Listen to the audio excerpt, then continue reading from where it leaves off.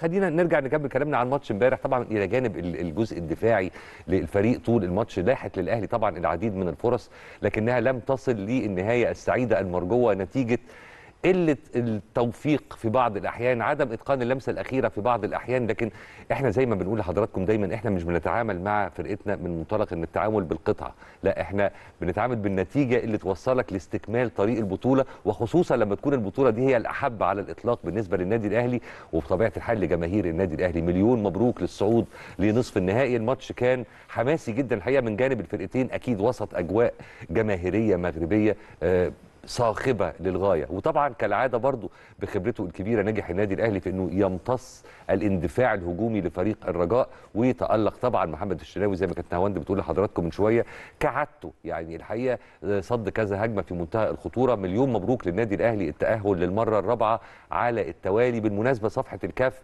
احتفت بهذا الأمر واحتفلت به على صفحتها. الأهلي صعد إلى نصف النهائي الإفريقي أعوام 2020 2021 2022 2023 بص في نقطة أنا بشوف إن هي ما تزعلكش على قد ما تفرحك اللي هي أيوة. إيه بقى؟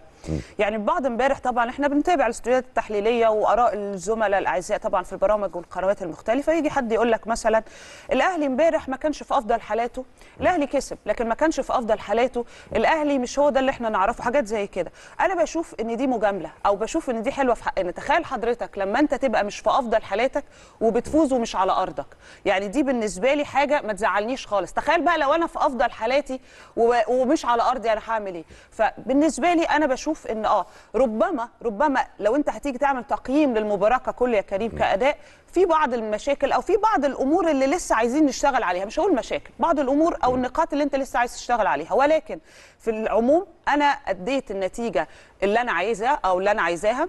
في نفس الوقت كان في تكتيك من كولر أو مارسيل كولر هذا المدير الفني اللي أنا بشوفه رائع حتى هذه اللحظة بشكل كبير جدا. حتى المشاكل اللي كانت موجودة قبل ما يجي يا كريم وهي اللمسات الأخيرة ابتدت مش هقول اختفت بس ابتدت إن أنت تقدر تتحكم فيها إلى حد ما. في بعض المباريات ما كانتش موجودة تماما. فأنا بشوف إن الراجل كان حاطط خطة رائعة جدا. قدرت من خلالها إن أنت برضو تلعب لعب جماعي جيد. البعض برضو قال لك امبارح من الاستوديوهات التحليلية والآراء المختلفة والنقاد الرياضيين قال لك كان يعني بداية إن كهربا يلعب وحاجات زي كده أثر على اللعبه ما كانش المفروض ينزل من الأول.